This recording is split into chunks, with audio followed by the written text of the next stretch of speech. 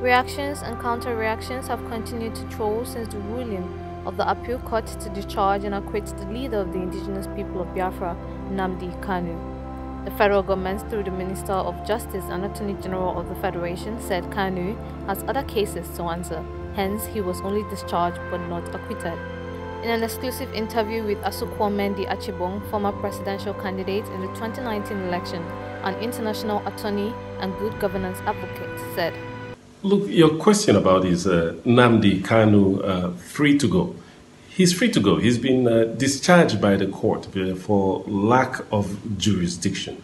Simply put, the government, the court rather, is simply saying, we don't have the power over this individual, so we will not get to the merits of the case.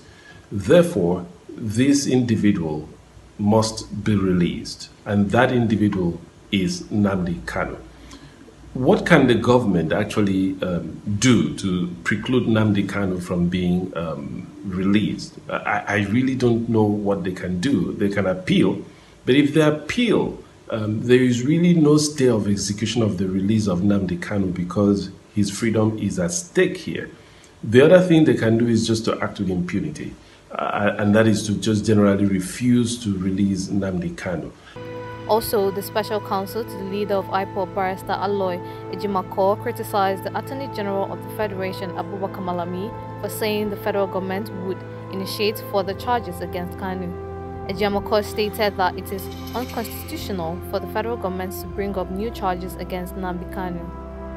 No new charge can stick against Kanu because the present circumstance, the extraordinary rendition, is an abiding factor that has created a permanent barrier to his prosecution, at least for now.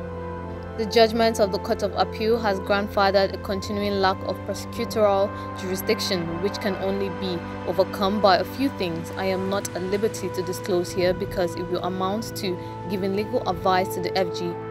Yet, before any further charge can have a toga of legality or constitutionality, Kanu has to be released first. Anything to the contrary will be purgatory. Justice Attorney General of the Federation, Malami, um, uh, speaking against the release of Nnamdi Kanu, that um, uh, he was uh, discharged, not acquitted. Of course, he was discharged, not acquitted. There, has been no uh, actual trial on the merits or demerits of the case here. But, to the extent that he wants to bring up some other charges against Nnamdi Kanu, he will still run into the challenge of the jurisdiction of the court. Does the court have jurisdiction over this particular person? Simply because of the way that he was brought before the court? Uh, um, Nnamdi Kanu alleges he was uh, abducted, he was kidnapped, and he was tortured um, in Kenya and, and, brought without proper legal process being uh, observed to Nigeria.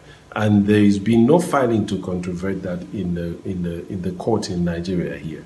So the, the government is going to have that challenge of how it will bring Nnamdi Kanu before a court of competent jurisdiction and be able to get to the merits of the trial of the case. As of today, the, I just don't see how they can do that. And it will be in the best interest of the development of jurisprudence and the best interest of the nation and the best interest of this administration and the people of the Federal Republic of Nigeria.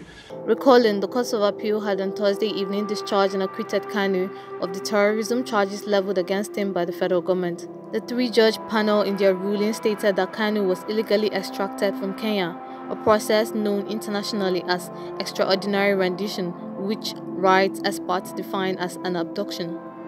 As of the time of filing this report, it was gathered that Nnamdi Kanu is still in the custody of the Department of State Services.